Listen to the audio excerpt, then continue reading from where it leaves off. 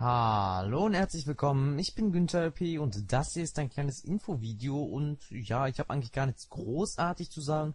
Ich will einfach nur sagen, äh, ich habe ein neues Avatarbild, das ist mal eine neue Nachricht, die sich so im Monat ergeben hat. Ähm, der User, der mir die erstellt hat, also der mir das Bild da erstellt hat, der ist in der Beschreibung verlinkt.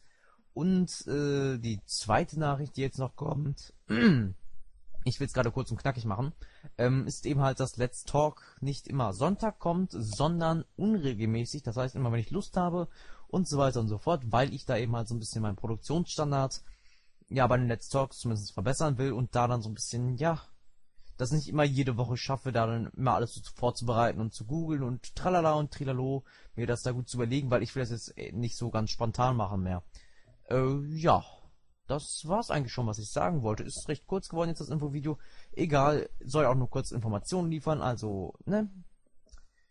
Haut rein.